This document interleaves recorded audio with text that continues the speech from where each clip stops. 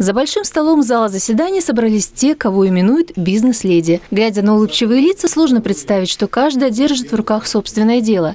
Алексей Спасский отметил, что несмотря на большую занятость, они с успехом справляются с работой и являются хорошими женами и матерями. Занимаясь этим бизнесом и будучи эффективным, вы несете основную функцию женскую, это материнство, да, рожать детей и такие важнейшие функции, как его еще надо воспитать, борщ сварить, потому что ну, мы любим борщ. Вот.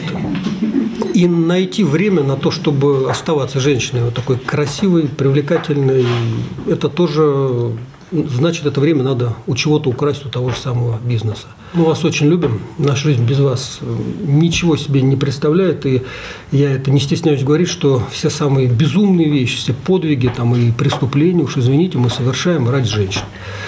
Поэтому будьте счастливы, будьте красивы, будьте любимы. И вот с точки зрения бизнеса, возвращаясь, пусть у вас все-все-все получается. С наступающим праздником. В продолжении встречи Алексей Петрович предложил задавать вопросы. Стремительно развивающиеся события ситуации на Украине, конечно же, стали одной из главных тем разговора. Санкции против России не могут не волновать предпринимателей, но бизнес-леди не из робкого десятка на своем веку, мне 41 год, пережила где-то, наверное, 4 кризиса, э, и все будет нормально. Да, видите, мы, я как бы все жива, цела, у меня бизнес, а был и дефолт у нас, и пуч, и все что угодно было, еще там пару вещей.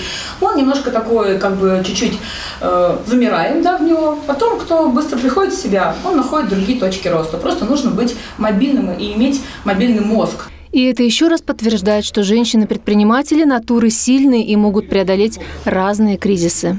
Женщины-предприниматели – это именно те, кто несет всю ответственность, э, всю финансовую ответственность, все на своих плечах, помимо того, что это и семейные обязанности, и сохранение очага, муж, дети, семья, это еще и бизнес. Это очень дорогого стоит. С огромным уважением относимся к вам. Поздравляем вас с праздником 8 марта. Это как раз те женщины, которые успевают заниматься и семейными делами, и рабочими. Поэтому хотел пожелать им здоровья в первую очередь, счастья, ну и всего самого лучшего. И, конечно же, каждая участница встречи получила в подарок букетик тюльпанов. Татьяна Брылова, Кирилл Иванов, Ольга Садовская, Видное ТВ.